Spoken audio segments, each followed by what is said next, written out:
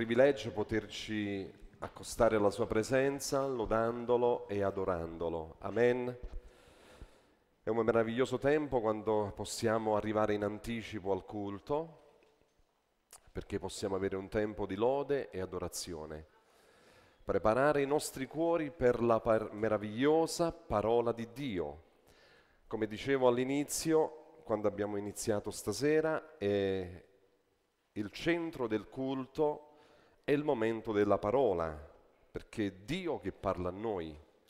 La lode e l'adorazione prepara i nostri cuori per la parola, quindi siamo noi che ci rendiamo disponibili e poi durante il tempo della parola è lo Spirito Santo che ministra le nostre vite e parla ad ognuno di noi. Quindi di alla persona accanto a te, stasera Dio ti parlerà.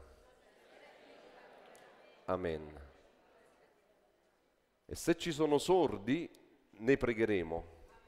Amen. Che tu ci possa ascoltare.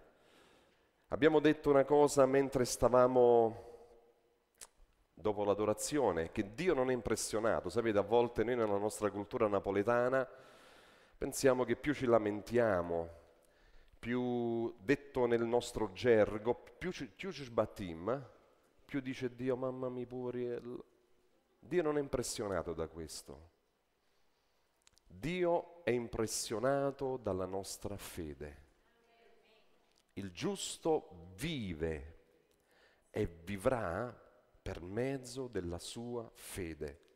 Non tuoi, dalle tue lacrime, non dai tuoi lamenti, ma dalla tua fede. Dì alla persona accanto a te, Dio rimarrà impressionato da quanto tu credi, da quanto grande sarà la tua fede. e non deve essere troppo grande, cari miei. Basta, Gesù ha detto, quanto un granel di senape, una piccola fede, è in grado di spostare una montagna, che potrebbe raffigurare e rappresentare un problema nella nostra vita. Ma il giusto vive e vivrà per mezzo della sua fede. Noi dobbiamo essere liberati anche dalla nostra cultura naturale per prendere la cultura del regno di Dio, rinnovare la nostra mente. Ricordati una cosa importante, non mettere mai in discussione la parola di Dio, anzi mantieniti sempre aperto allo Spirito Santo. E voglio anche incoraggiarti a spegnere telefonini. Ti assicuro una cosa, Dio non ti chiamerà per telefono. Dio ti parlerà attraverso la sua parola. Quindi se avete il telefonino acceso, prendetelo e spegnetelo. Amen. Voglio darvi giusto qualche avviso perché so che siete tutti quanti in attesa di questo evento. Domani incomincia il post incontro. Oh, mi aspettavo tutti felici. Amen, gloria a Dio. Mi aspettavo l'entusiasmo, la gioia. Domani inizia il post incontro. Alleluia, amen. Questa ci deve essere fame quando noi ci accostiamo alla parola, quindi riprendiamo le classi di studio. Da domani dico qui a Casavatore alle 19.15, di alla persona accanto a te se devi fare il post incontro, se devi fare il post incontro, non mancare alle 19.15, domani sera. Settimana prossima inizieremo con la scuola del discepolato. Amen, gloria a Dio, alleluia. Questo vale sia per Casavatore, il, sia per Pianura, sia per i quartieri spagnoli. Naturalmente il giorno forse cambia a, a quartieri spagnoli, però la settimana è tutto regolare.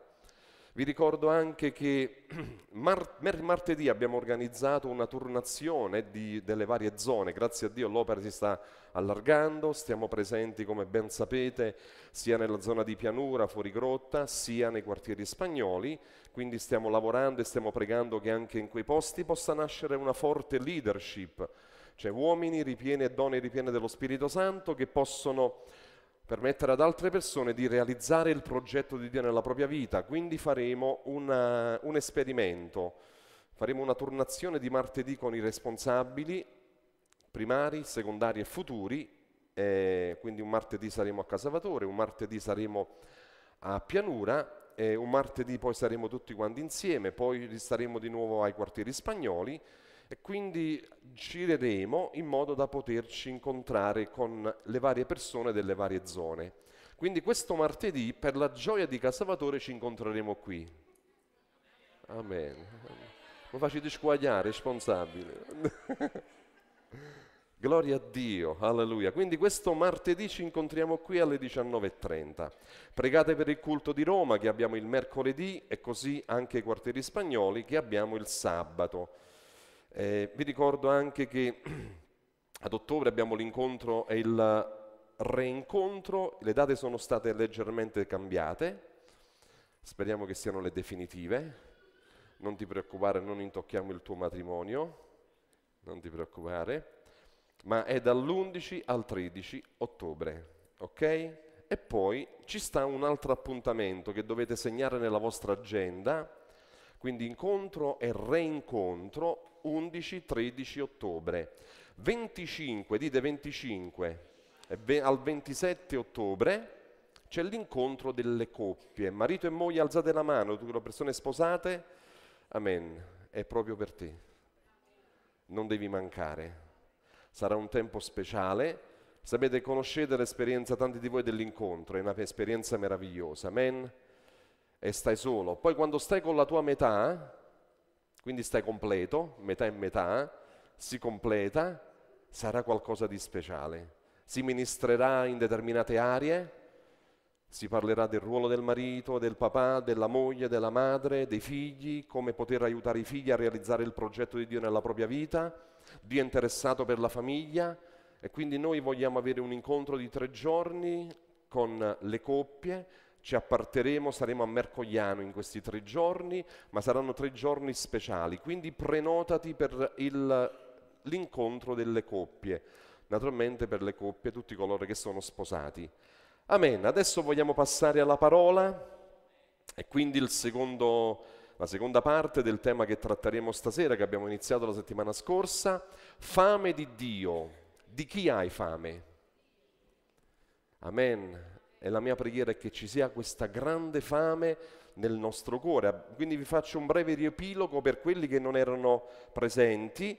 Abbiamo letto un verso che si trova nel libro del profeta Amos, capitolo 8, verso 11 dove è scritto, ecco verranno giorni, dice il Signore, Dio.